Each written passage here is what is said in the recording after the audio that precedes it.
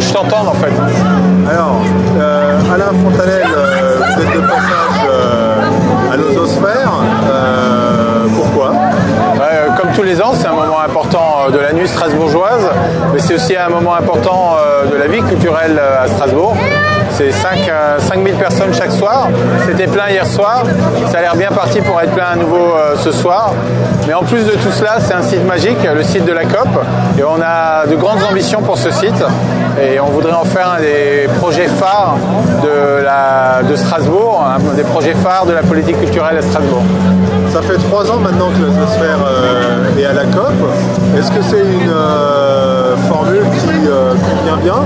Ça permet de- d'excentrer un petit peu euh, les nuisances sonores C'est pas vraiment ça l'enjeu. Franchement, c'est d'abord un site industriel euh, magique avec euh, des lumières extraordinaires et c'est ce site est vraiment super.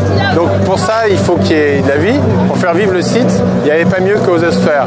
Ah, bien sûr, ça fait moins de nuisances au centre, mais aux osphères, ça n'a jamais été à la Cruteno.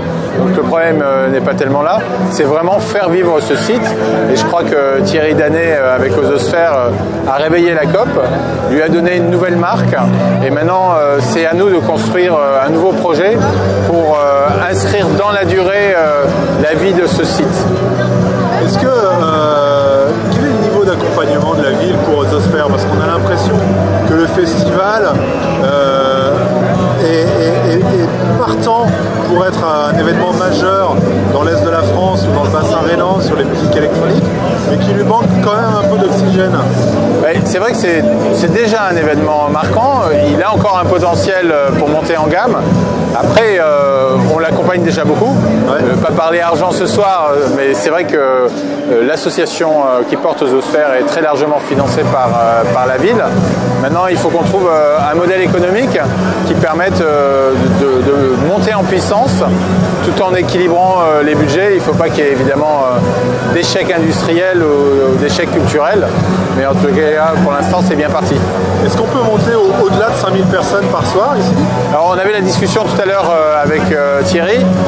Les, les salles elles-mêmes, euh, les deux salles, font avec le rêve et, Le Somme, ça fait à peu près une capacité de 5000. Il se trouve qu'il y a un espace entre les deux qui fait un espace déversoir ou, ou tampon qui permet d'accueillir euh, beaucoup de monde. Hier, il y avait 500 personnes qui n'ont pas pu rentrer alors que je pense qu'il y avait la place. Donc il faut qu'on en discute dans le respect des règles de sécurité et je crois qu'il y a un petit, un petit peu de marge encore. Merci Alain Fontanel. Merci, bonne soirée.